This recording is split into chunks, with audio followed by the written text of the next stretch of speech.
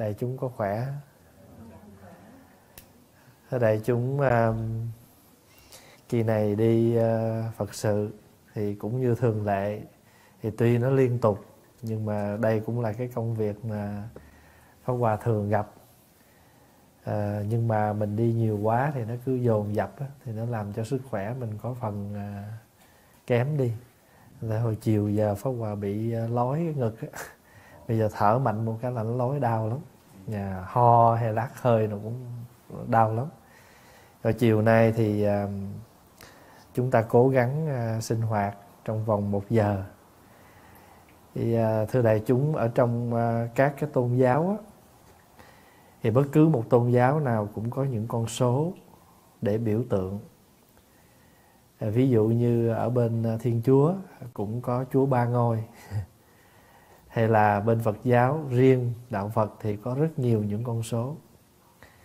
Và con số 7 là một trong những con số mà chúng ta thường được nghe và nhắc nhiều nhất. Chẳng hạn như à, cúng thất thì cúng 7 ngày. À, Đức Phật sanh ra đi 7 bước. Phật ngồi thiền cũng là 7 tuần lễ 7 7 49 ngày. Thì con số 7 này nó biểu tượng cho một cái gì?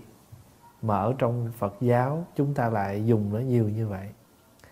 Thật sự ra con số 3 hay là con số 7 đều là những con số tốt lành tùy theo một cái quan niệm mà ví dụ như đây là quan niệm phương Đông là con số 7 là số tốt. Nhưng mà thí dụ như à, bên Trung Quốc thì người ta cũng thích những con số khác nữa gọi là con số hên chẳng hạn số 1 hay là con số 6 hay là con số 8 à, chứ người ta không thích số 4 à, tại vì người ta phát âm á à, 1, 2, 3, 4 là tiếng Việt của mình nhưng mà dách gì sám say say là nó có cái ý như con tử. Thật sự ra tất cả những cái phát âm chữ nghĩa nó cũng đều là từ tâm mình nó phát hết. Mình nghĩ thành lành thì nó lành mà mình nghĩ thiện là nó thiện. Rồi nghĩ nó không thiện là nó không thiện. Ví dụ như xưa nay á, tiếng miền nam á, gọi cái quan tài là cái hòm. Rồi cái tiếng mà phổ thông văn chương thì gọi là quan tài. Mà cho dù là quan tài hay cái hòm, nghe cái chữ đó mình đã sợ rồi. Không, nghe cái tiếng đó là mình đã ngán rồi. Nhưng mà rồi để cho người ta người ta có thể phát, người ta tự, người ta trích chữ, người ta diễn đạt thêm thay vì hai chữ quan tài để liền với nhau nghe sợ thì người ta nói thăng quan phát tài. Ta chiết hai chữ nó ra quan là thăng quan tài là phát tài. Nghe quan tài vậy cái không ai sợ hết. Thật quý, mình, quý vị thấy rõ ràng là tất cả các pháp do cái tâm mình nó sanh. Mà mình nghĩ nó thiện là nó thiện mà mình nghĩ nó xấu là nó xấu. Chứ còn thật sự ra đối với đạo phật không có gì tốt, không có gì xấu, tại vì không có cái gì tuyệt đối. Mà tất cả đã là không tuyệt đối thì tỷ nó là tạm có, và tất cả những cái đó nó chỉ cung ứng cho cái thế gian con người mình. Con người mình là cái nhu cầu và cái sự tiếp đãi nội cái tình cảm nội cái lễ nghi. Con người mình đã tạo ra quá nhiều. Mỗi một quốc gia, mỗi một một cái đất nước Việt Nam mình thôi là đã biết bao nhiêu phong tục rồi miền Trung có cái cách của miền Trung Huế có cách của Huế à, Nam có Bắc có cách của Nam Bắc có cách của Bắc. Mà Nam nó cũng nhiều loại Nam ở Tú có với miền Tây khác một chút Nam trên này khác một chút. Vì mỗi một cái địa phương nó có những cái cái cái cái, cái phong tục của họ. Cho nên người mình Phật tử á, mình phải có cái chánh niệm có tuệ giác để chúng ta đi tới đâu chúng ta cũng thích ứng được tất cả mọi cái hoàn cảnh cũng như là mọi con người. Mà đạo Phật á, gọi cái đó là gì? Cái đó gọi là xả. Chữ xả đó, nó không có cái nghĩa là buông bỏ, thuần túy như mình hiểu xưa nay. Xả đó có nghĩa là mình đừng có dính mắt, mình đừng có chấp, là xả rồi. Thế đợi khi mà mình bắt nó, mình bỏ con vỏ rồi, để vô trong túi rồi, chấp đã 5 ngày 10 ngày rồi bắt đầu xả. Thì cái đó cũng là một loại xả mà bắt đầu cầm rồi mới xả. Còn ngay khi mình thấy nó, mình rõ nó liền tại chỗ đó, xả liền cái một. Pháp Hòa ví dụ cái này nó hơi kỳ, nhưng mà để cho mình thấy được cái sự tu tập. Mình đi vệ sinh vừa xong là trong tư tưởng mình đã biết là những cái này là toàn là tạp dơ. Thành thử nhấn cái một mà không hề có một sự lưu luyến. Vì sao? Vì chúng ta biết nó là dơ. Chúng ta biết nó là hôi. Chúng ta biết nó là thứ không cần thiết. Thì trong cuộc sống của chúng ta cũng vậy. Có những cái gì nó xảy đến với mình mà mình biết cái đó nó không nó không có gì quan trọng để ôm ấp, để chấp trước mà chúng ta đứng dậy một cái nhẹ nhàng như vậy đó đó là một hình thức xả cho nên có một cái bài kệ khi mình đi vệ sinh đó, đại tiểu tiện thời. Đại đại tức là đi đại tiểu là đi tiểu đại tiểu tiện thời. Tiểu tiện và đại tiện ta nói tắt vậy đó. Tiểu tiện đại tiện tức là đến lúc nào mình đi đại tiểu tiểu, tiểu đại tiện tiểu tiện là đại tiểu tiện thời. Cầu cho chúng sanh gọi là đương nguyện chúng sanh. Khí khí là bỏ khí tham sân si tức là trừ bỏ tất cả các tham sân si trừ hết tội lỗi là quyên trừ tội pháp. Những cái pháp nào mà nó làm cho chúng ta thành tội đó đó, chứ không phải là làm gì gây gớm nó thành tội. Tất cả mọi hiện tượng nào làm cho chúng ta sinh khởi hay hành động hay lời nói mà có, trong đó có chứa có tham sân si, thì pháp đó thành tội. Chứ không đợi tới giết người cướp của. Thí dụ như mình thấy đồ, mình thấy của người ta để quên, mừng quá, sẵn mình ghét họ, hất vô thùng rác luôn. Coi như là giống như mình làm cho bỏ ghét vậy đó. Thì ngay cái tâm niệm đó đâu ai thấy đâu. Nhưng mà chính cái chỗ đó là, chính là cái chỗ là tội pháp. tội pháp tức là nó thành ra cái tội thì chúng ta thấy của người khác làm rơi không trả lại mà đã hất đi là một cái lỗi rồi cộng thêm là chứa đựng rằng cái tâm ghét bỏ cái người kia nữa đặc biệt là cái người mà chủ của cái vật của đó. Cho nên bảy bước đi của đức phật á, ở trong trong lịch sử kể đó khi mà thái tử sĩ đạt ta sinh ra đời thì có bảy ngày ước đi bảy bước nhưng mà thật sự trong sử còn kể đó không phải đi một hướng đâu. Ngài đi bốn hướng. Hướng đông hướng tây hướng nam hướng bắc. Ngài đi đầy bốn hướng rồi xong rồi ngài mới dừng lại. Ngài dõng dạc chỉ tay trên trời dưới đất. Ngài tuyên bố trên trời dưới đất. Chỉ có ta là duy nhất. Thì cái chữ ta đó, đó cũng đã làm cho rắc rối rồi đó nhiều người định nghĩa chữ ta là tôi. À, vậy là phật xưng phật là độc tôn duy nhất vân vân. Thưa không có. Phật dạy mình vô ngã thì làm sao phật sống với bản ngã được? Phật luôn luôn dạy mình không có cái ta mà sao phật xưng ta ở đây? Thì cái trường hợp ta này phải hiểu là gì? Chính là tự tâm giác ngộ của mình. Trên đời này không có cái gì quý bằng sự tỉnh giác đâu. Con người mê là khổ tỉnh là sống con người mê thì cũng sống mà sống lây lất, sống dày vò, sống đau khổ. Con người tỉnh ở trong cảnh khổ mà vẫn an lạc. Còn con người mê ở trong tiền mà vẫn khóc. Ăn yến mà vẫn nghẹn. Ăn cao lương mỹ vị, nằm trên giường nệm ngủ, rất là mắc tiền nhưng mà vẫn trằn trọc ngủ không được. Tại vì người ta dính mắc những cái sự đau khổ trong cuộc đời. Hay là người ta bị, thật sự ra người ta cũng đâu muốn đâu. Nhưng mà rồi con người mà còn dính mắt, còn chấp trước mọi thứ, hãy dính cái gì khổ đó, vướng cái nào thì khổ cái đó. Phá Hòa ví dụ, Hôm nào mình ăn một cái ăn gì đó, Mà chỉ cần một chút xíu thức ăn Nó còn dính trong kẻ răng ra, Khó chịu lắm. Chứ đừng có nói là là vướng tay, vướng chân gì mình? Một chút thức ăn còn trong kẻ răng thôi. Mình đã khó chịu rồi.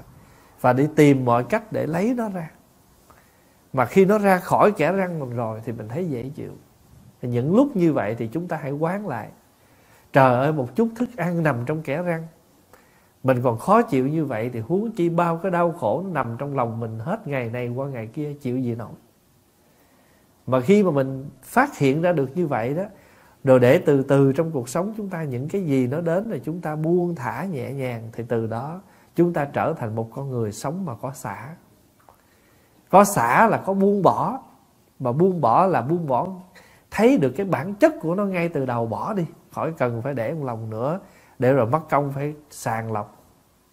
Nhưng mà nếu cái nào mà lỡ ôm ấp rồi thì bắt đầu về nhà lục cất dục cũng giống như hồi đó mình mới qua, hồi đó nhà cái gara mình còn trống. Cho cái gì mình, trong đầu mình biết là cái ra mình trống mà. Cho cái gì mình cũng nhét hết á. Cất nhét rồi ghi chú đàng hoàng lắm. Thật sự ghi chú vậy thôi chứ có thể cả năm, hai năm và thậm chí 10 năm không bao giờ mình đụng vô. Đến một ngày nọ mình thấy cái bộ hơi đầy rồi bắt đầu làm cái gì? Đi lôi ra, soạn. Dục cũng chưa dám nữa, tại vì lỡ có đồ quý trong sao bắt đầu mở kho ra. Mà nhìn, nếu mà hỏi thật lòng mà nói những món này có đáng giữ không? Không. Thật tình mà trả lời câu nói là không. Nhưng mà bỏ thôi cũng tiếc, bắt đầu lọc cái nào mà mà mình coi như là mình cho nó thứ lớp đó, cho nó đi. Hình như được 50 phần trăm. Rồi 50 phần trăm còn lại cất tiếp. Rồi thì bắt đầu trong đầu biết là nó có trống rồi đó. Rồi cái vài bữa khác, không biết làm sao, nó cũng chật tiếp quý vị để ý coi, trong nhà mình cho tới ra tới cái gara thì trong lòng của mình cũng vậy. Chẳng hạn như á, khi nào mà trái tim mình trống trải hình như mình không thích. Mình phải kiếm người nào để vô đó để cho gọi là trái tim có người. Nhưng mà khi mà đau khổ rồi gục ngã rồi đủ thứ hết trơn cái đó, thôi thôi, giờ tôi sợ lắm rồi, tôi không muốn thương yêu gì nữa, để cho ta, để cho tâm hồn tôi trống trải đi giờ thật sự là nói vậy đó. Nhưng mà đi đâu cũng than hết. Và đặc biệt là những lúc xem phim và nghe nhạc. Những bản nhạc nó có cái tính, cái cách là tình cảm du dương. Những đoạn phim có tính cách tình cảm du dương là nhìn ta chảy nước miếng, nhìn mình chảy nước mắt.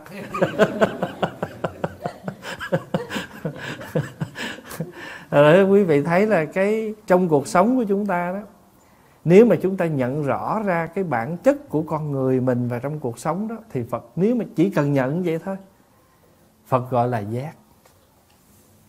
Mà cái mục đích chúng ta tu hành theo Phật là để làm gì? Không để làm gì hết, chỉ để làm sao chúng ta làm cho cái năng lượng giác ngộ đó, nó càng ngày nó càng lớn trong ta, để cho chúng ta sống trong cuộc đời này mà chúng ta vẫn bình an với nó. Thật sự mình ghét bỏ cuộc đời thì mình vẫn sống mình thương yêu cuộc đời mình vẫn sống. Nhưng mà nếu con người mà thương yêu mà không có tuệ giác thì đụng đau khổ lụy đó. Và nếu một con người sống mà thù bỏ ghét thì con người tự nhiên sống cô độc cô đơn đau khổ và rất là khô khan. Hai thái cực cũng không tốt. Mà nếu mà con người có cái tuệ giác á, thì con người sống bình an. Tức là biết có thương gặp cảnh thương lòng từ, xuất phát. Nhưng mà có những cái mình biết, tới thì mình tiếp, đi thì mình tiễn, mà không có cái tâm ý dính mắc trong giờ chứ không phải là mình tu theo Phật để làm một cái gì đặc biệt đâu. Phải trở thành ông này bà kia đâu, chỉ cần có cái tỉnh giác thôi. Và chúng ta thấy rõ ràng trong cuộc đời này, nếu mà nói cái rắc rối đó, mình rắc rối ghê gớm lắm. Nội rồi mình bày ghế ra ngồi thôi người nào mà thượng khách nhịn ghế cũng khác. À, khách thường ngồi cũng khác. Mình nói một cái chuyện ghế thôi. Rồi chưa nói là mình đi mua quà cho bạn. Bạn sòn sòn bình thường mua khác. Bạn thiệt thân mua khác. Bà con cô bác của mình mình mua khác. Đó, nội cái chuyện quà cáp thôi. Rồi mình đi ăn cưới thôi. Bỏ bao thơ nó cũng khác nữa bạn thân quen biết nhiều, bao thơ khác. Biết biết sơ sơ mà không lẽ không đi, nhưng mà lỡ mời thôi cũng đi, để khác. Tại nhiều khi mình cái cái cái quan niệm của mình đó, biết sơ sơ, mời thôi kệ, cũng đi sơ sơ. Đi, không đi thì kỳ, phải không? Và và đi thì nó cùng. Cho nên mình nghiệm lại trong cuộc đời thì mình thấy trong cuộc sống của chúng ta nó có nhiều cái mà chúng ta chỉ cần mỉm cười và thấy rằng quá nhiều những cái phụ tùng. Quá nhiều những cái phụ tùng. Nội cái kiến mình mang thôi. Nội cái tóc của mình chải thôi. À, tháng này mình chải kiểu này, tháng kia mình chải kiểu kia hồi mình tóc đen mình chải kiểu khác mà hồi tóc bạc mình chải kiểu khác tại vì phải chải làm sao để che cái đó lại. Để thôi ta thấy nó bạc sao. À, tóc mình nhiều chải kiểu khác mà tóc lơ thưa chải kiểu khác. À, vân vân cho nên thật sự ra không có gì lỗi lầm hết. Nhưng mà chúng ta có cái nhìn đó để chúng ta có một cái cái nhìn nó rộng và nó trong sáng thì tự nhiên đời sống của chúng ta nó an lạc hơn.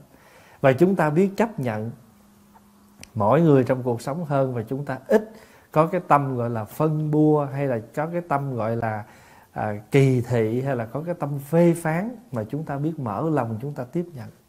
Và chỉ cần được như vậy tức là chúng ta là những người phật tử.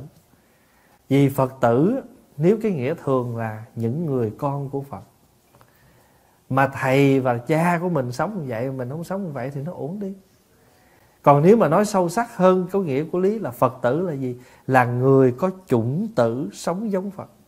Người có cái chủng tử để thành phật. Tại vì chữ tử nó còn có nghĩa là hạt giống. Nó hạt giống chẳng hạn như nguyên tử. Bôn nguyên tử. Thì cái chữ phật tử nó cũng vậy đó. Nó có cái hạt giống như vậy đó. Thì bảy cái bước sen mà phật đi đó, phật không đi trên bông hồng, bông cúc, bông súng, bông lại phật đi trên bông sen. Tại vì cái đặc điểm của hoa sen là bất nhiễm. Sen xanh mọc ở trong bùn mà không có nhiễm bùn mà sự thật đức phật có sanh ra mà đi vậy không? Không. Phật sanh bình thường giống mình vậy, không có khác gì hết trơn nhưng mà khi mà người ta đưa một cái hình ảnh, có một vị thầy qua một câu chuyện mà mình thấy hơi đặc biệt một chút chẳng qua là chuyên tải cái đạo lý thôi chứ không phải là khi mà ngài sinh ra ngài đi như vậy đâu. Nếu thật sự đức phật đi sinh ra ngài bước đi bảy bước như vậy à, đi bảy bước như vậy rồi ngài biết nói liền ngay sau khi mà ngài sinh đó, mà ngài biểu mình tu mà thành phật giống ngài, chưa chắc mình đã tu. Mình sẽ nói là sao? Dạ con không dám. Tại vì ngài đặc biệt quá, ngài mới vừa sanh, ngài biết nói, thành thử ngài tu, ngài dễ thành.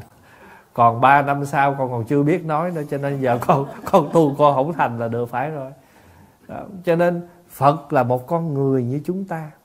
Nhưng ở nơi ngài ngài đã phát huy được cái khả năng hiểu biết của ngài đến mức tột cùng. Ngài thấy được cái khổ của chúng sanh cô kiếp người cho nên ngài đi tìm một con đường nào để tự mình chuyển hóa cái đau khổ ngay trong cái người này. Và ngài đã thành tựu. Rồi ngài mới chỉ dẫn lại cho mình. Bây giờ mình theo ngài là tại vì mình kính trọng ngài là một vị thầy đã chỉ cho mình con đường đó mình đi. Chứ nếu mà phật có những cái đặc biệt, chẳng hạn như là ngài sinh ra ngài đi như vậy, rồi ngài nói như vậy, bây giờ ngài tu thì mình thấy ngài là trời, ngài cõi trên xuống con cõi dưới lên, biểu tu giống ngài sao được? Mình sẽ có cái cách để mình nói lại. Cho nên nếu mà mình chấp vào cái đó làm cái lý thuyết mà khuyên người ta tu, mình thua. Ví dụ như giờ á, ba của mình, hồi đó từ một con người bình thường ráng học ra bác sĩ. Bây giờ con nó lớn lên, mình mới nói nó được. Mình nói hồi đó ba cực khổ, ba cũng cố gắng ba được cái này. Thì con bây giờ con cố gắng, con không được là bác sĩ thì con cũng là dược sĩ hay con một cái gì đó trong cuộc sống. À, còn tốt hơn nữa là làm tu sĩ. Nếu không làm được bác sĩ thì cũng phải làm tu sĩ. À, chứ đừng làm lòi sĩ là được rồi. Thì thì mình sống vậy, mình nói vậy nó thấy, nó biết. Còn nếu như mình có những cái điểm đặc biệt quá, mình khác biệt với nó, mình nói là mình là à, sanh tử trời rơi xuống và vân vân thì mình nói chưa chắc nó nghe. Cho nên thưa đại chúng cái chữ mà đức phật tuyên bố trên trời dưới đất này chỉ có mình ta là duy nhất. Đó là ý của phật muốn nói là cái tánh giác cái sự hiểu biết cái trí tuệ. Chỉ cần mà đại chúng hồi trưa qua mới kể đó chỉ cần trên đời này chúng ta có trí tuệ thôi và chúng ta sẽ thấy rõ được ví dụ. Ví dụ một con người có hiểu biết thôi nhịn này biết hoa cúc nhịn này biết cẩm chướng một con người có hiểu biết thì họ biết chỗ nào họ nên ngồi và chỗ nào họ không nên ngồi. Cái gì họ nên ăn, vân vân. Trong cuộc sống bình thường, mình hay nói người có hiểu biết, người có ý thức. Tới nhà người ta biết lúc nào tới và lúc nào mình cáo từ mình ra về. Nói năng thì biết lúc nào mình nói và lúc nào mình nín. Đùa giỡn thì biết lúc nào mình nên đùa giỡn và lúc nào mình nghiêm túc, vân vân. Thì một người mà có hiểu biết, có ý thức như vậy, đó bình thường trong cuộc sống, chứ đừng nói là người có trí tuệ thì con số 7 được giải thích rất là nhiều lý do. Chẳng hạn như là hôm rồi Pháp Hòa có giải thích ở bên Mỹ, con số 7 là tượng trưng cho bảy chúng đệ tử của Phật. Bảy chúng đệ tử của Phật là gì? Là cư sĩ nam, cư sĩ nữ, sa di sa di ni, thức xoa, tỳ kheo tỳ kheo ni. Bảy chúng đệ tử của Phật, đưa giáo pháp của Phật lan xa qua con số 7 đó con số 7 còn biểu tượng cho thất đại. Ngoài bốn đại chúng ta thường nghe, đó là đất, nước, gió, lửa. Còn ba cái đại khác là kiến, thức, không. Ở đây, hôm nay mình nói con số 7 ở một cái nghĩa thứ ba. Đó là nói về bảy cái chi, bảy cái phần để giúp cho chúng ta thành tựu được con đường tu tập giác ngộ mà chúng ta thường gọi là thất giác chi. Thất giác chi tức là bảy cái phần, bảy cái cành nhánh để làm cho chúng ta thành tựu được một cái cây giác ngộ. Cái cây này là cái gốc mà nó có được bảy cái nhánh. Mà người mà có được bảy cái nhánh tu tập này thì có được một cái thân cây giác ngộ, gọi là cây bồ đề. Cây bồ đề này nó gồm có bảy nhánh chúng ta còn có một danh từ để gọi nó là thất bồ đề phần. Bây giờ tưởng tượng một cái cây. Cây này là cây bồ đề. Mà cây bồ đề này có bảy nhánh. Một con người mà có được bảy cái này.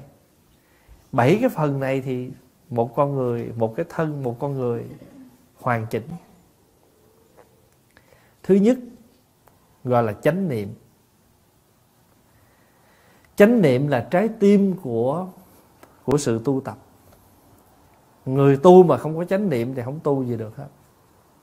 Muốn tu mà không có chánh niệm là không tu được. Bây giờ chánh niệm là gì? Chánh tức là chơn chánh. Niệm là nhớ nghĩ. Chữ chánh niệm tức là người đó có sự nhớ nghĩ. Chân chánh. Ví dụ như mình ăn cơm mình biết mình ăn cơm. Không lo nghĩ chuyện khác thì ăn cơm chánh niệm. Nói chuyện, biết mình đang nói chuyện. Và mình biết mình đang nói với ai. Thí dụ như mình nói chuyện với một người lớn, một bậc trưởng thượng, là mình biết là mình đang nói chuyện với bậc trưởng thượng. Cho nên những từ ngữ mình dùng, mình sẽ nhẹ nhàng hơn và có cái sự cẩn trọng hơn để không làm cho vi phạm vào cái lỗi là có lỗi hỗn với người lớn. Ví dụ vậy đó. Hay là bây giờ mình sống trong một cái gia đình gia đình mình đang có nhiều cái khó khăn, cái bế tắc, mình biết rõ như vậy để chúng ta làm cho cái gia đình mình an ổn hơn, gọi là chánh niệm. Khi mình biết cái thân của mình nó không có được khỏe thì mình phải ăn uống những cái gì đó để cho cái thân mình nó nhẹ nhàng một chút. Mình không có làm mình không áp đảo nó bằng cách là mình dồn ép nó ăn những cái món ăn mình ngon cái miệng, nhưng mà vừa qua khỏi cửa miệng mình thì bắt đầu cả cái thân mình nó chịu khổ. Cũng giống như một lời nói mình nói ra, nói cho sướng cái cái miệng mình, nói cho hả hê cái cơn giận mình, nói xong một cái cả nhà đổ vỡ. Đó là không có chánh niệm.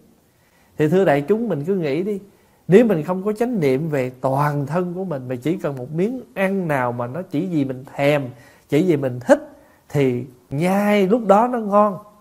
Nhưng mà vừa nuốt ra khỏi cái cổ họng thôi là tất cả những cái thức ăn đó nó trở thành ra những cái món độc tố. Và nó làm hại cả cái thân của mình. À, thành thử ra bao nhiêu bệnh tật cũng từ cái cửa miệng mình đưa vô rồi bao nhiêu những cái gọi là tị hiềm, rắc rối, đau khổ, tranh chấp cũng từ cửa miệng mình ra. Cho người tu phải có chánh niệm. Mà chánh niệm là trái tim của mọi sự thực tập. Bây giờ mình muốn có chánh niệm, mình phải làm gì? Quý vị, mình phải ngồi tụng kinh là vậy đó. Mình phải niệm phật, mình phải ngồi thiền, mình phải làm những cái công phu hàng ngày của mình đó để cho cái tâm mình nó bình lặng xuống để mình có chánh niệm chứ có gì đâu. Như hồi sáng qua có giải thích đó, nước mà chúng ta múc tắm cho phật đó là nước của định tĩnh lắng trong. Và pháp hòa nói với mấy em à, bằng tiếng anh và nói rõ luôn, nước này là nước của thiền định. Người không có thiền định làm sao tâm trí mình nó trong lặng được? Hôm nào quý vị ờ, thử ờ, làm quên một cái là làm lạc ờ, cái mắt kiến, cái chìa khóa coi. Càng lăn xăng đi kiếm, càng kiếm không ra. Kiếm chỗ ngồi xuống. Để tôi nhớ coi hồi nãy tôi vô cái chỗ nào. Cuối cùng tôi bước vô là tôi xài chìa khóa lúc nào. Nhớ trực lại đi tới cái chỗ đó, ông chừng nằm nghe đó. Có nhiều khi cầm sau chìa khóa, đi chợ mua thức ăn rồi bưng vô cái bưng thức ăn để trong tủ lạnh để chìa khóa đó luôn. Trời ơi, vậy mà đi kiếm muốn lật nghiêng ngà nhà lên vậy mà kiếm riết càng kiếm càng không ra. Thôi, kiếm qua đói bụng quá, mệt quá. Để mở tủ kiếm đồ ăn. Giờ bắt đầu lấy đồ ăn lòi ra chìa khóa. Đầu thưa đại chúng là mình càng loạn thì nó càng không ra một cái em nhỏ đó, khi mà nó mất cái đồng hồ, cả nhà đi kiếm. Nó nói bây giờ cả nhà làm ơn ngồi yên cho con. Để con nghe được cái tiếng kim đồng hồ nó chạy thì con mới tìm ra được nó.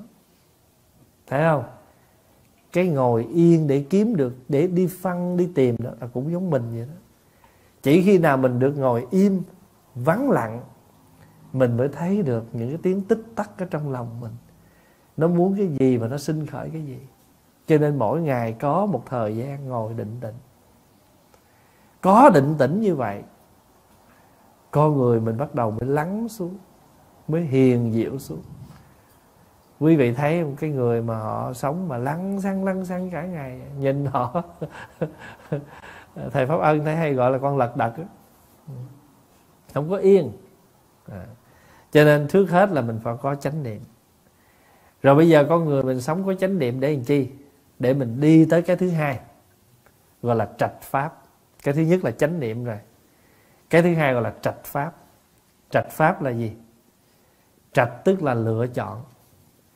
Lựa chọn cái pháp nào, cái cách nào để mà mình có thể sống tốt, tu tốt.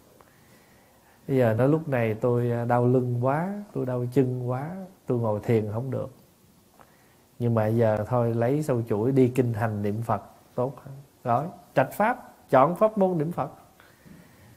Tâm tôi lúc này loạn quá, ngồi thiền cũng không được, mà niệm phật cũng được, mà tôi tụng kinh được. Lại sám hối được, lấy cuốn kinh ra, vì kinh nó có chữ. Mình dò theo đó, mình đọc. Chú tâm của nó đọc, cái tâm mình nó định được nửa tiếng đồng hồ. Trạch pháp. Cũng giống như mình ăn thôi mình ăn thì mình cũng trạch trạch nhưng mà trạch phút. Giờ mình tu mình trạch pháp. Trời ăn lựa dữ lắm mà nhiều khi sốc lên muốn nát dĩa của người ta. Lựa lựa tàu hũ. Rau không không ăn. Sốc sốc sốc lên. Thì bây giờ ở đây á trạch pháp có nghĩa là mình chọn cái pháp nào sai bỏ cái nào đúng theo à có có có dùng trí năng để tư duy khảo sát thì mới thấy rõ cái gì thiện nên tu tập và cái gì bất thiện cần phải bỏ. Cho nên người tu thiền cái chữ thiền được dịch nghĩa là gì? Là tịnh tư lự. Tịnh thì chữ tư lự là suy nghĩ. Mà lắng mọi suy nghĩ thì gọi là tịnh tư lự mà con người mà ngồi ăn cơm cũng mơ mơ màng màng cái nó không biết lúc này nó suy tư cái gì ha gọi là suy tư. À, nhưng mà nếu mà mình có một đối tượng người nào đó trong tâm mình và để cho mình ăn đi nói làm gì cũng người đó hết thì kêu là tương tự. Mình không còn suy tư nữa là mình tương tự. Rồi tương tư ngày qua tháng lại mà không được gì hết mà con người mình nó bầm dập rồi là tương nhừ. rồi đau khổ rồi đắng cay kêu tương ớt. Đấy là tư duy là con người mình ai sống cũng có một cái suy nghĩ. Hết nhưng mà mình không có được một cái suy nghĩ chín chắn. Không có chọn một cái gì chín chắn để mình làm thì nó loạn. Cho nên học cũng vậy. Trước khi vô đại học, nhà trường cho mình một cái khoảng thời gian mình chọn vậy đó, mà có nhiều em nó vẫn chưa chọn, phải không? Có thể nó học một cái năm đầu tiên những cái môn căn bản thôi. Bất cứ cái môn nào nó chọn trong mấy năm tới, cũng nhờ những cái môn này đẩy nó vô. Cho nên những cái môn này nó phải học để cho nó có một khoảng thời gian nó suy nghĩ, nó chọn cái môn nào nó học. Cho nên mình tu cũng vậy đó hồi mình đi tu 13 tuổi 15 tuổi, chờ. Chờ đến 20 tuổi suy nghĩ cho kỹ. Cho nên thọ tỳ kheo là dưới 20 tuổi là không có cho thọ. Tại vì sao? Tại vì sợ cái tuổi chưa suy nghĩ kỹ. Cho nên trong cái lúc mà trước khi cho người đó thọ giới còn hỏi một câu nữa. Sư chú, tuổi đủ 20 chưa? Nói dạ con 18 tuổi rưỡi. Nói, vậy sư chú chưa được thọ giới phải 20 tuổi, là lấy cái tuổi cái tuổi trung bình để gọi là tạm đủ cái suy nghĩ, cái tư duy chính chắn. Và có nhiều khi á, ba chục tuổi mà để vẫn chưa suy nghĩ chính chắn thì mình rầy, phải không? Già cái đầu mà không biết suy nghĩ. Đó. Có những đứa con của mình mà nó lớn tuổi mà nó bồng bột, nó chưa biết làm gì thì mình hay rầy nó như vậy nhưng mà ở cái độ tuổi ngày xưa 20 tuổi là bắt đầu 18 tuổi 20 tuổi là bắt đầu chập chững vào đời. Rồi cho mình học hành cho đến năm mình 30 tuổi là cái tuổi mà người ta bắt buộc sự nghiệp con người mình phải vững chãi. Cho nên gọi là tam thập nhi lập. Tam thập nhi lập có nghĩa là tuổi 30 là cái tuổi lập nghiệp thì ở ngoài đời nó có cái bài hát ngày em 20 tuổi. Nhưng mà chúng ta phải nói là ngày em 30 tuổi. Khi mà 30 tuổi, tức là ở ngoài đời là một con người 30 tuổi là có thể vững vàng trên sự nghiệp.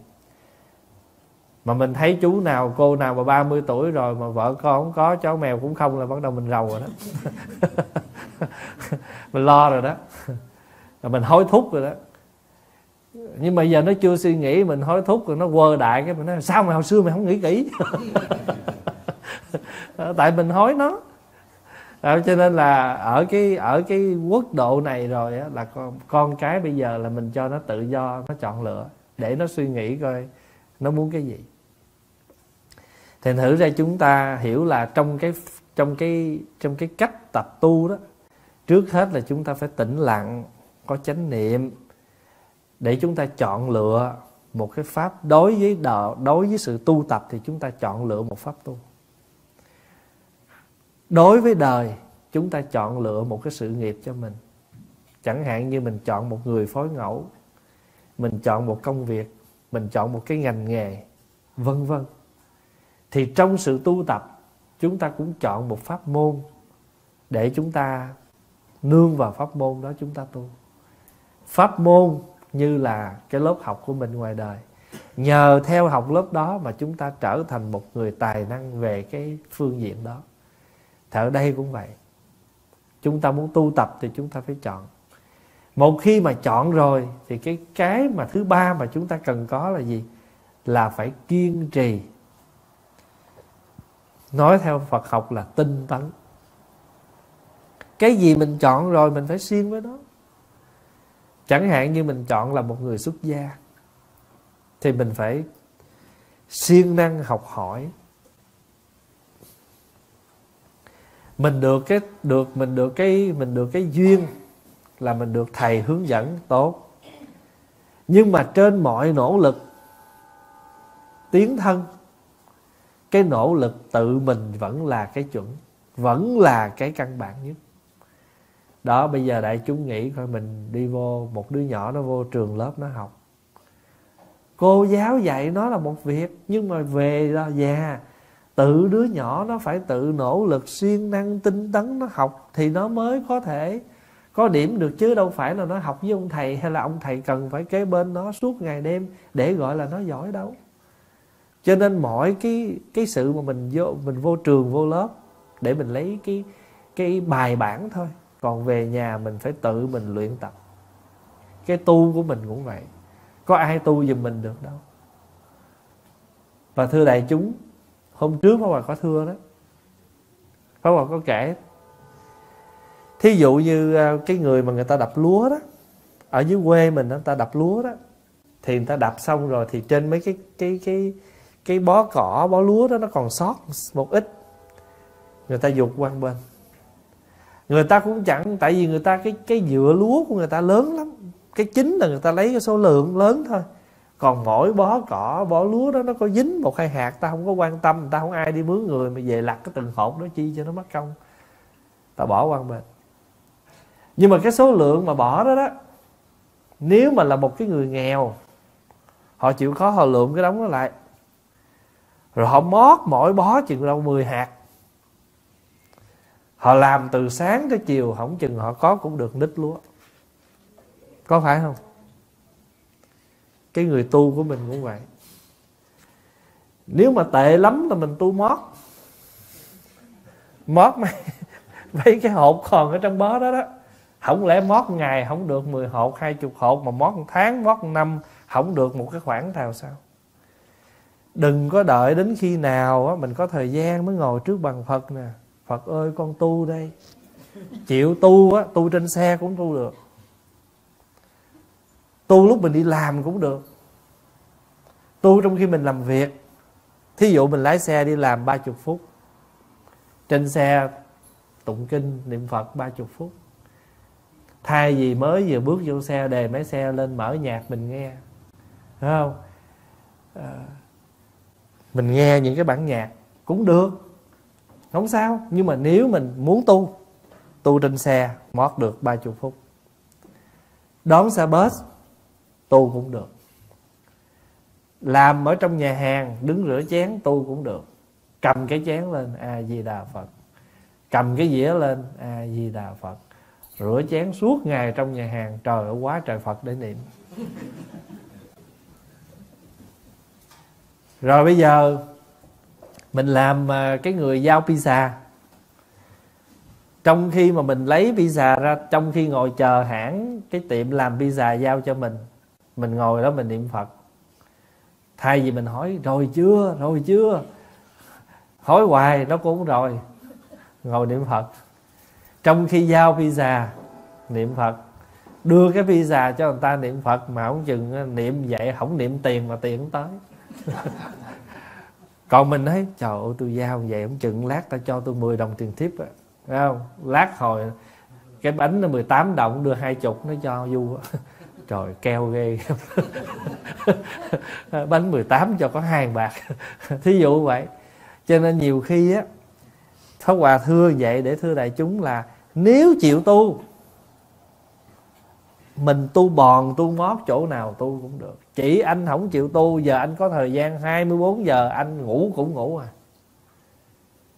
Cho nên mình có một cái con mắt tuệ giác mình tu tu ở chỗ nào tu cũng được có nhiều vị hỏi, thầy đi vậy giờ đâu tu? Rồi anh muốn tu tu chỗ nào? Từ sáng tới tối cái đầu tôi không có chỗ nào, nó ngoài cái chuyện phật sự hết à tôi có bao giờ tôi niệm khác đâu. Tôi đâu có niệm shopping đâu. Tôi niệm có niệm gì khác ngoài là lát nữa phải làm phật sự này, lát này phật sự kia. Tôi có rời phật pháp đâu. Cho nên hòa thưa đại chúng là từ sáng, cho dù mình có bận rộn trong chuyện phật pháp, nhưng tâm hình chưa hề rời phật pháp. Cho dù mình phải xuống ăn, nấu ăn cho đại chúng cả ngày, cũng không rời phật pháp, tại vì mình niệm đồ chay không à. Mình không có niệm cái khác cho nên đó, đừng có nghĩ rằng mình phải thế nào mới gọi là tu. Chịu tu là tu tất cả mọi nơi mọi chỗ. Như pháp hòa nói cái vấn đề cái bó lúa đó vậy. Chịu khó mà đập mấy cái hột lúa mỗi một bó chừng 10 hột hai chục hột là mót nó lại thế nào mình cũng có được một hai lon mình mình sống.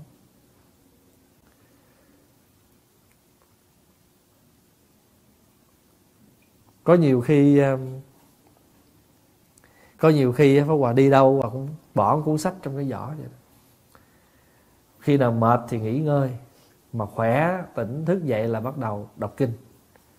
Coi kinh, coi sách, rồi chỗ nào hay, Pháp Hòa làm dấu lại để trích những cái đoạn kinh đó, chia sẻ với Phật tử rồi mình đi đâu, mình làm gì? Cả ngày. Đó, người nào sống trong chùa phải từ sáng tới tối không biết gì ngoài. Cũng nói, tôi đâu có thấy ổng ngồi ngồi thiền, niệm phật gì đâu. Người ta cũng ngồi thiền, ta niệm phật gì hết á. Mà cái tâm ta niệm lúc nào ta cũng ở trong cái tĩnh niệm. Chơi có nhiều vị hòa thượng ngày mới dạy á, đừng có tưởng ngồi thiền lâu là tốt nha. Cái đó là ngồi cái mông thôi chứ, thiền cái mông chứ chưa thiền cái đầu thiền cái đầu có nghĩa là mình biết ứng dụng thiền của mình trong mọi cuộc sống. Chứ không phải là ngồi như vậy. Chứ không phải là ngồi lâu. Nhưng mà đi đứng nằm ngồi thì thiền ngồi chỉ là một phần nhỏ của cái cách tu thiền. Tại vì ngồi như vậy thì không có dao động tâm mình nó dễ lắng hơn. À, chứ còn nếu mà thật sự mình muốn tu thì sao mình tu cũng được. Ví dụ bây giờ quý như hôm rồi có một bác bác đến gặp Pháp Hòa, bác nói, con ở chung với thằng rể, mà rể đạo chúa, cho nên là con không có thờ Phật được. Pháp Hòa mới nói, vậy thì bác ở trong phòng bác niệm Phật. Bác nói, vậy mỗi lần con à, niệm Phật vậy con à, có cần treo hình Phật gì không? Con, Pháp Hòa nói, khỏi. Rồi Pháp Hòa mới nói là, nếu bác muốn đọc kinh, thì bác có thể trong cuốn kinh bác mở cũng ra bác đọc cũng được. Bác nói, cũng không có để kinh trong nhà thì bây giờ bác thuộc kinh trong tâm không? Dạ thuộc. Kinh của bác là sáu chữ nam mô di đà phật. Giờ mỗi ngày bác cứ yên tĩnh trong phòng, bác cứ niệm cái câu đó 10 phút 20 phút nửa tiếng bác đi ngủ. Vẫn là tu như thường. Mình nghe pháp ở đây, maximum là 60 phút.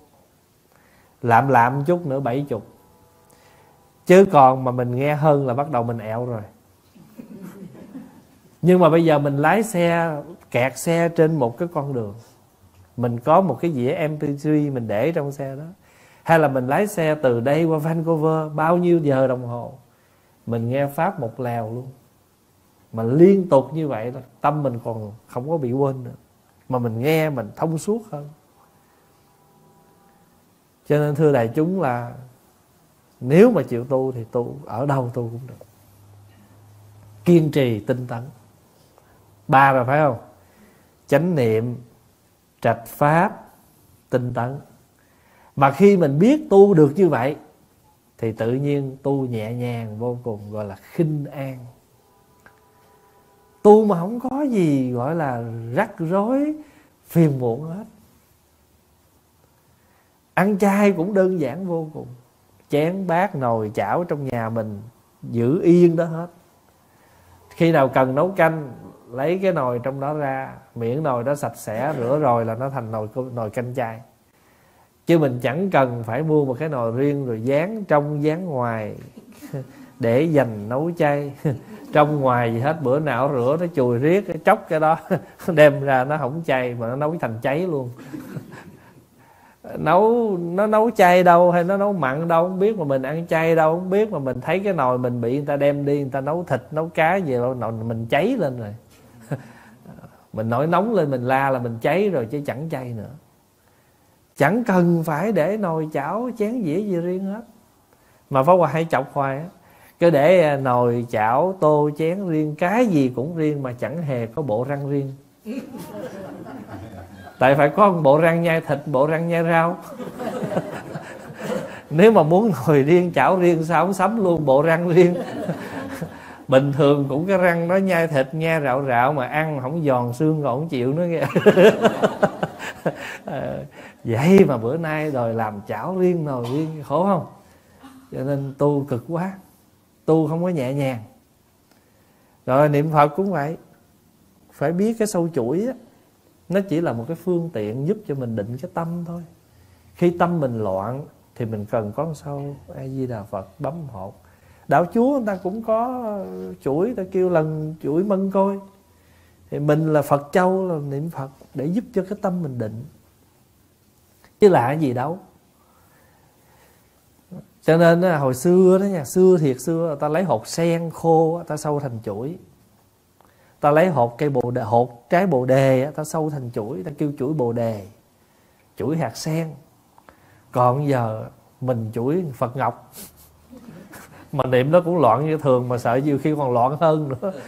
Lỡ để quên, trời ơi, chạy kiếm cất gần chết. Còn à, nếu mà chuỗi hột sen, chuỗi bồ đề mất, không không không sợ, phải không? Thành thử ra, niệm sâu chuỗi đó, định tâm khó hơn niệm sâu này. Bởi vì xong rồi phải cất cho kỹ, lỡ không kỹ là lật nhà mà kiếm cho nên à, chuỗi quý chừng nào nhiều khi khó định tâm có vị phật tử viết cho qua cái thơ hỏi vậy hỏi thầy ơi niệm phật niệm bằng hột bồ đề tốt hay là những cái chuỗi ngọc đó tốt? Có tiền thì mình à, niệm chuỗi quý một chút mà nếu mà nói trên cái định nghĩa mà định không định là không chừng cái chuỗi đó khó định hơn. Tại vì mình lần mà lỡ mà nó có chuyện gì mình đau lòng lắm. Mình niệm phật mình chưa tính gì hết trơn mà thấy là bất khổ rồi cho nên tu làm sao mà cho cái mọi sự nhẹ nhàng. Hôm nào á, mình khỏe đó, mình tụng kinh có tiếng. Hôm nào mình khen tiếng, mình đau cổ tụng kinh thầm. Mình tới chùa, ai thắp nhang sẵn rồi, khỏi thắp nữa, lại phật thôi. Chứ không phải là mình phải thắp cây nhang để phật chứng biết cho mình vừa rồi pháp hòa với chồng mà nó thấp cho nhiều, hỏi anh chi vậy? Để phật biết con ở đây, phật chứng cho con. Mà cứ người hai cây, ba cây vậy mà xông lên mà khói quá trời, phật cũng cay mắt, phật khí hí, Phật nói con là ai?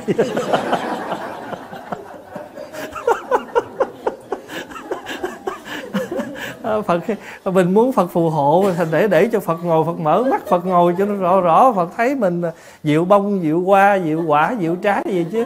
Còn hóc nhiều quá rồi Phật cũng cay mắt rồi Phật khí khí mà nhiều khi Phật dụi, Phật nhìn không kỹ mình nữa. Phật phù hộ trật làm sao? Cho nên thu thiệt là nhẹ nhàng rồi là khinh an. Chẳng những nó khinh an như vậy rồi nhờ nó có khinh an, tại vì tâm của mình luôn luôn vui.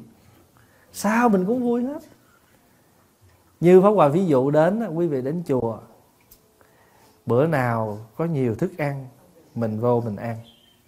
Bữa nào đơn giản mình ăn, đơn giản mà thậm chí có việc mình làm, cặp cơm mình ăn, đừng có phiền hà chứ không mời, tôi không dám. Phải không? Thậm chí mình phán một câu nữa, thôi không làm không ăn đâu. chi mấy cái đó, đâu có ai nói gì mình, mà lỡ ai nói gì mình, cái đó dở của người ta.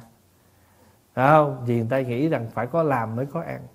Nhưng mà nếu mình suy nghĩ kỹ coi, nếu mình có chánh niệm coi dạ em có làm chứ. Em không em em làm là em đi quốc bộ tới đây, em lái xe tới đây nè. Rồi bây giờ đây em làm đây em bưng cái tôm bới nè.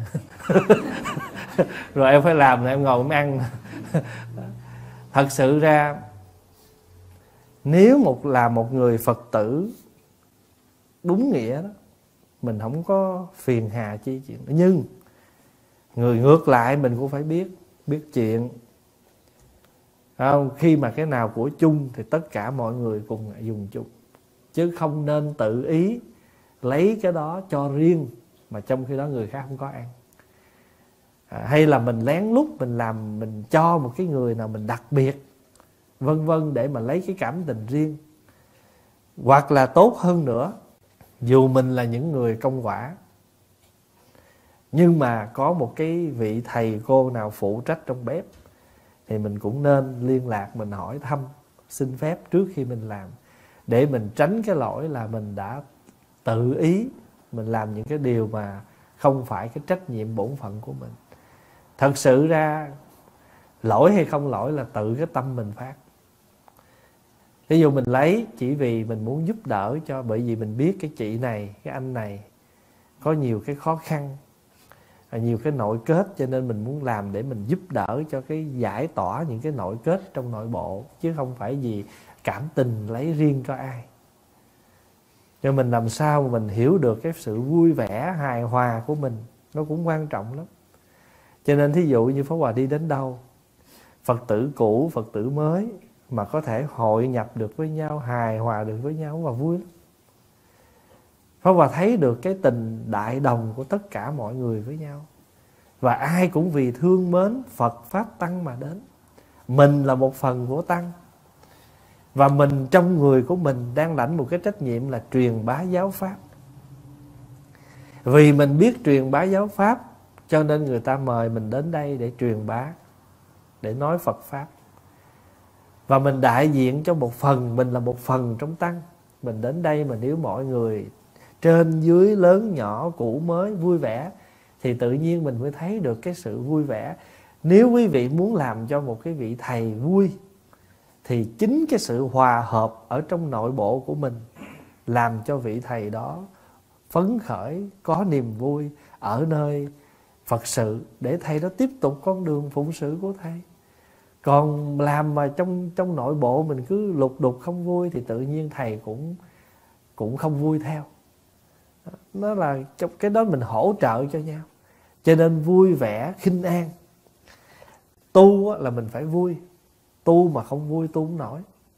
Mà cái vui của mình là cái vui nhẹ nhàng chứ không có là những cái vui gọi là ầm ĩ à, rộn ràng. Không? thí dụ như mình bày một bữa ăn cơm như hồi chiều đi. Đó nó cũng có tiếng ồn vậy. Nhưng mà cái tiếng ồn này nó không có chè chén không phải là từ vô vô. Chén này chén kia mà cũng vô vậy mà vô ăn. Chứ không phải vô để uống.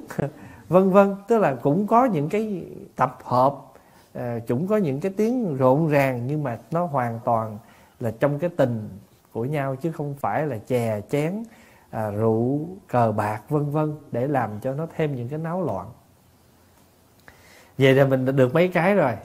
Chánh niệm, trạch pháp, tinh tấn, vui vẻ, khinh an là nắm rồi. Cái thứ sáu là gì? Là tĩnh lặng. Chúng ta gọi là định. Hồi nãy pháp hòa có, đầu tiên thay vì pháp hòa nói vậy thì pháp hòa nói hai cái. Đầu tiên là tĩnh lặng và xả. Hai cái cuối là tĩnh lặng và xả. Chữ xả đây là như hồi nãy pháp hòa nói vậy đó. Xả là gì? Xả tức là sự buông bỏ và bây giờ mình nói ngược lại. Hồi nãy mình nói chánh niệm, trạch pháp là hai, phải không?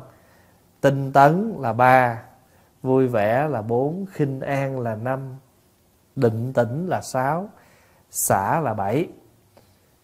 Nhưng chúng ta có thấy nữa, nó ngược lại. Người mà có xả là người không chấp. Nhờ không chấp cho nên tâm định. Nhờ tâm định cho nên lòng nhẹ nhàng nhờ nhẹ nhàng cho nên tâm ý vui vẻ. Nhờ tâm ý vui vẻ cho nên tu siêng năng. Nhờ siêng năng tinh tấn như vậy cho nên biết pháp nào làm pháp nào không và người đó luôn luôn đi tới cái chánh niệm cao tột.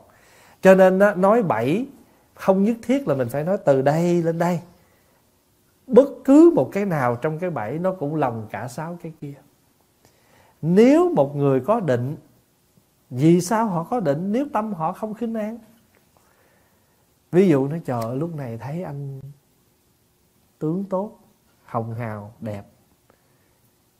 Nhìn cái tướng nói, tại vì trong lòng ảnh có niềm vui.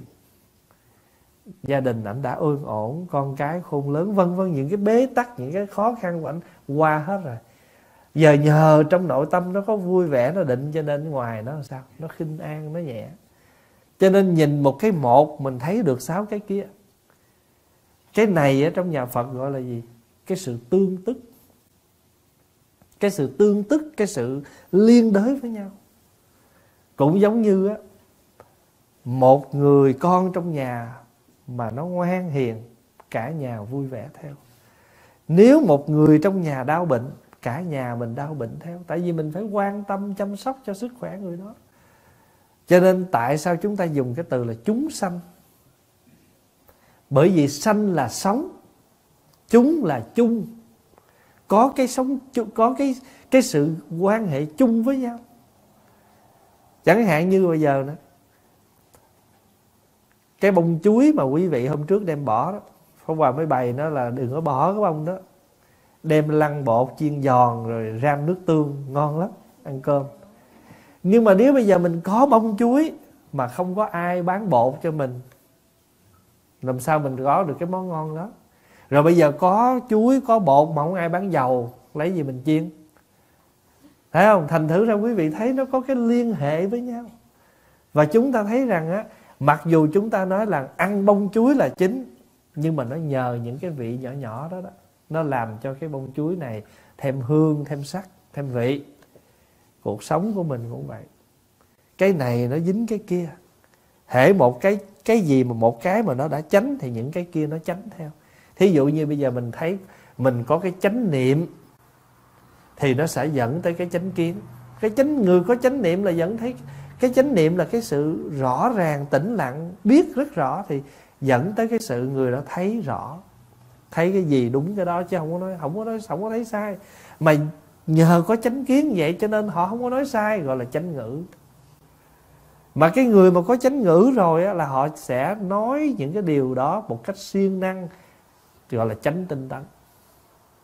Có nhiều người thấy sai hiểu sai nói sai mà không biết cứ tiếp tục nói. Nói người một người hai người họ cũng siêng lắm à nhưng mà siêng gọi là siêng không tinh tấn gọi là tà tinh tấn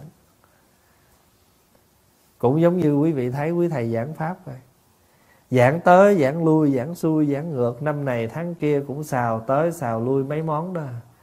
Không ngoài một cái mục đích là tĩnh lặng, chánh niệm, giảm tham, giảm sân, giảm si. Nhưng mà cứ nói riết, xào riết cũng giống như mình ăn mỗi ngày. Có có bao giờ mà xuống đây mà bữa cơm chiều mà thiếu nồi canh chua với nồi mắm đâu? kỳ này cũng mắm canh chua, kỳ rồi kỳ sau món khác. Vòng vòng cũng những cái món thức ăn chay mà chúng ta đã từng ăn qua. Nhưng mà đâu có ngán gì đâu, cũng vẫn ngon, lành như thường. Thì trong cuộc sống của chúng ta cũng vậy. Thật sự hàng ngày con người mình nó không có gì ngoài tham sân si. Để trúng kiểm có phải không? Không có gì ngoài đó đâu. Vậy mà chứng nào mà giờ mình chỉ cần có niệm định tuệ thì nó sẽ giảm tham sân si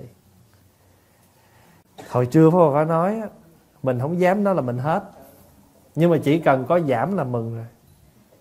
Đó, hồi xưa ông xã mình nóng tánh giờ ông có giảm nóng tánh là mừng không? Hồi xưa bà vợ mình thường xuyên hay là không có giảm được cái tật là la rầy mà nói lâu nói nhiều nói dai. Mà giờ bà tu bây giờ thay vì hồi xưa nhờ trên chùa biểu bà đi tụng kinh cho nên giờ thay vì bà cằn nhằn hết, ngày 4 tiếng còn lại của buổi chiều, bà tụng kinh 2 tiếng, bà còn nói có 2 tiếng. Đỡ, giảm. Phải lên cảm ơn thầy. Giờ thầy bày tụng kinh. Cho nên thưa đại chúng á, cái bảy bước hoa sen mà mà mà chúng ta thường nói đó, nó tượng trưng cho bảy cái giác phần bây giờ chúng ta nói lại bảy cái này để chúng ta thấy bảy cái nhánh của một cái cây. Chánh niệm, trạch pháp, tinh tấn, vui vẻ là hoan hỷ, khinh an, định tĩnh và xả. Và nếu còn không thì chúng ta nói ngược lại, chủ chỉ cần người sống mà có xả thôi, lập tức có khinh an, lập tức có hỷ. Phải không? Và lập tức định tĩnh. Tại vì mình mình thấy rõ ngay từ cái lúc mà nó tới là mình biết rồi, xả liền, không có gì quan trọng. Cho nên cái ý niệm xả đó, cái chữ xả đây không phải là đợi khi nào dính mắt mới xả. Mà chỉ cần chúng ta thấy tất cả các pháp bình đẳng. Tất cả các pháp bình đẳng mà chúng ta vượt ngoài những cái sở tri gọi là kiến chấp của mình. Con người mình nó có hai chấp một là chấp pháp, hai là chấp ngã. Mà chúng ta gọi là ngã pháp. Thế nào là chấp ngã? Chấp ngã là chấp mình, chấp tôi. Thế nào là chấp pháp? Những cái phương, những cái hiện, những cái gì chúng ta làm mà phải thuộc về mình thì gọi là chấp pháp. Ví dụ ha, ví dụ mình nói là, tôi là người lớn nhất ở đông này. Là chấp ngã nè cho nên đó, mình phải có cái chấp pháp là hễ tôi bước ra là tôi phải ngồi cái chỗ đó. Cái chỗ đó nó thành ra cái pháp chấp pháp. Mà mình nếu mà hôm nào mình đó mình đừng mình đừng có nghĩ mình là lớn nhất cho nên lỡ bữa đó người ta không có cái chỗ đó cho mình mình cũng nhẹ nhàng được thế đó là không có chấp pháp. Cho con người mình đa số là chấp ngã chấp pháp. Mà chính cái chấp này nó làm ra cho trong rồi nó, con người mình có cái này cho nên bắt đầu mình tưởng. Mình tưởng là mình ai cũng quý mình mình như mình hay quá mình giỏi quá cho nên mình mình luôn luôn mọi người sẽ được quý mình. Tưởng mà. Và cái tưởng đó nó không có ngừng. Cho nên bác nhã tâm kinh gọi là hành. Sắc thọ tưởng hành đó thì hành tức là cái sự vận cái sự vận hành liên tục do cái mình tưởng mình đi tới cái trạm thứ nhất, thông trạm thứ hai, thông mình nghĩ là mình đi vèo vèo qua tới cái trạm thứ năm có nó chặn mình lại nó xét. Bên quý vị đi mỹ hà râm đó. Lần này bị xét, lần sau không bị. Lần này bị không bị xét mà lần sau bị. Có bao giờ mà đi không bị xét đâu. Và hãy cái trạm Vancouver mà nó không xét thì chắc bữa nào ghé Calgary nó cũng xét. À, thành ra luôn nó cũng có những cái mình thể mà mình tưởng cái gì ra mình dính cái đó. Tại chính mình tưởng mình mới dính. Còn khi nào mình thấy sự thật đi là cho nó khỏe, khỏi tưởng. Cho nên không cần phải tưởng, mà hãy tưởng nhiều thì chưa gặp em, anh vẫn nghĩ rằng. À, có người, con gái đẹp như trăng. Tưởng mà. Chứ thật sự trên đời này có ai như trăng đâu. Mà nếu thí dụ người đó có như trăng đi nữa, ai kiếm mình? ta cũng phải kiếm người như trăng để ta ta có tương ứng chứ, phải không? Thành thử ra cái gì tưởng thì cái đó phải có để ý lại. Mà chính cái tưởng như vậy rồi ôm chấp. Thấy không? Quý vị thấy không? Tôi tưởng đâu nó nói như vậy, nó biểu tôi tới như vậy là được vậy, ai dè, ai ngờ. Rồi bắt đầu làm sao? Buồn khổ tùm lum hết. Cho nên chính những cái chỗ đó nó làm cho mình thiếu đi những cái nhân tố những cái yếu tố để mà mình tĩnh lặng. Cho nên đó bảy cái bảy cái này nó có tên là thất giác chi, thất bồ đề phần, hay là thất giác ý. Còn nếu mà nói rõ tiếng việt là bảy yếu tố giác ngộ. Bảy yếu tố giác ngộ. Đây là những cái những cái điểm chính yếu. Nó là cái nhân tố để đưa mình đến cái chỗ giác ngộ chỉ cần có chánh niệm yếu tố giác ngộ mà có được rồi thì những yếu tố khác nó khả dĩ lắm. Giống như xin lỗi là giống như mình nói, yếu tố sức khỏe của mình là quan trọng nhất.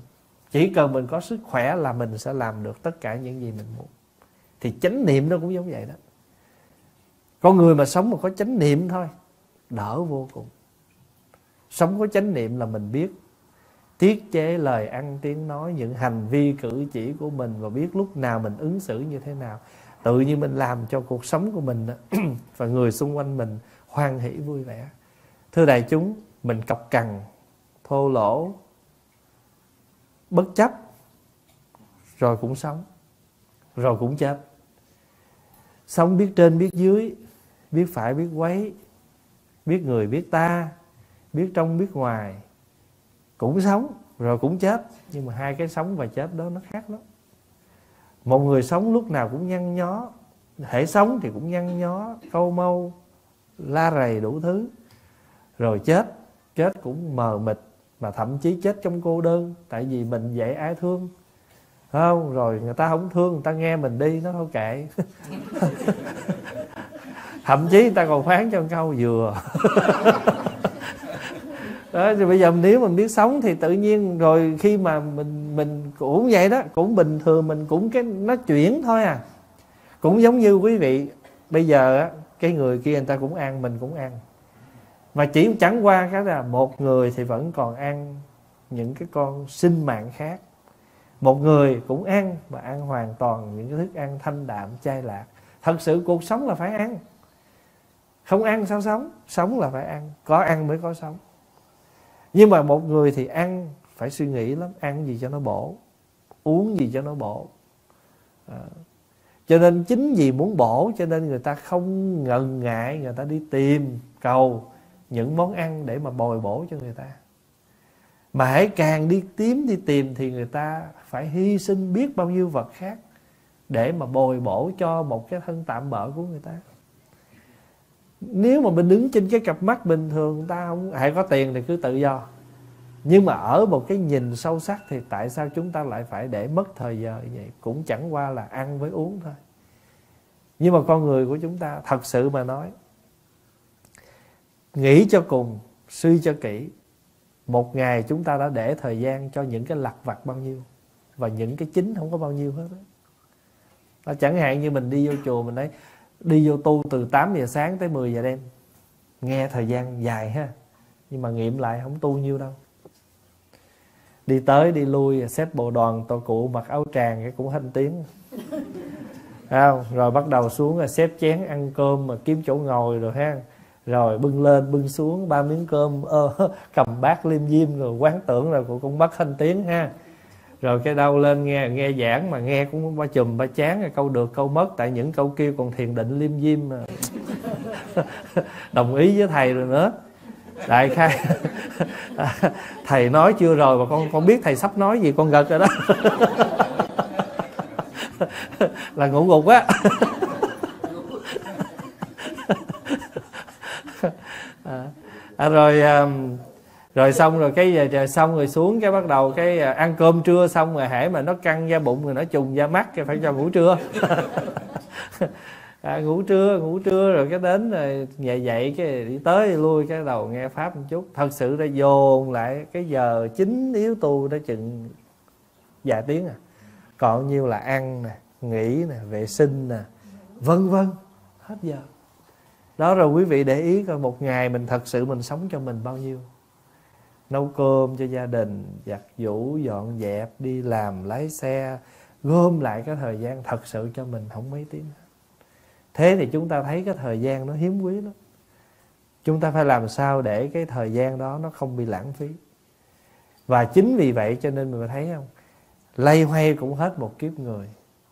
Mà làm sao để cho kiếp người này nó không oan uổng? Bây giờ nghiệm lại, pháp hòa về đây là mười mấy năm biết quý vị hồi pháp hòa còn hai mấy tuổi thôi, chưa đầy ba mươi nữa. Mà bây giờ là đã bốn mươi mấy và đại chúng ngồi đây có những vị đã năm mươi mấy, sáu mươi mấy, bảy mươi mấy. Hồi mới gặp kêu cô mà kêu cô riết giờ thành bác rồi. Vân vân. Thành thử ra, thưa, chính chúng ta có những cái nhìn như vậy, cho nên chúng ta xả được. Không có cái gì chấp trước đó, mình bồi bổ thiệt nhiều mà nó già nó vẫn đi tới tới tới vậy. Sức khỏe nó vẫn giảm giảm giảm vậy chứ nó có làm được gì đâu. Mình mình ngay cái đó mình xả được rồi là tâm mình nó nhẹ liền. Và nó làm một chi phần của sự giác ngộ. Giác ngộ được là cuộc đời này vô thường. Không có cái gì mình bền vững giữ mãi được hết. Yeah. Vui vẻ ta gặp mình cũng tốt. Nhăn nhó thì người ta cũng gặp mình mà hai cái gặp nó khác lắm cái người vui vẻ thì nó ồ tôi thích gặp anh nó vui lắm. Còn mình nhăn nhau thôi thôi thôi tôi, tôi thấy nó tôi ngán lắm. Kẹt lắm tôi mới gặp thôi. Không cũng cũng cũng mình đó mà hãy nó khác à cái gì mà nó nhẹ nhàng nó vui vẻ thì làm cho người ta vẫn thoải mái hơn.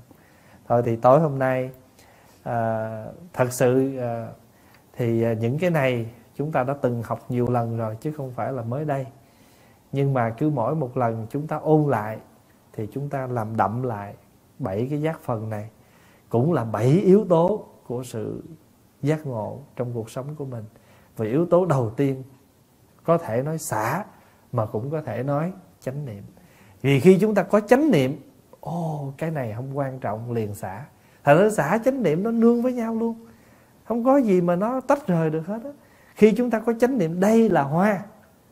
Và chánh niệm nó nói cho anh biết á, đã là hoa thì nó tạm có giả cho nên liền lúc đó xả được. Mai mốt nó có héo thì có bình khác. Ví dụ mình thấy được bản chất của nó. Hồi trưa mà có nói đó, cái người có trí thấy được rằng cái tướng thì có mà cái thể là không. Nhìn như tướng tướng mình có không? Tướng có. Cao lùn mập ốm, đẹp xấu gì. Tướng có mà thể không. Thể là sao? Bản thể, bản chất của nó thấy được như vậy thì liền có cái giác ngộ ngay ngay lúc đó liền. Chúc đại chúng an vui và mùa Phật đản được tràn đầy hạnh phúc. A Di Đà Phật. Và chúng ta hồi hướng. Nguyện à, đem à, công à, đức này hướng về. Tất cả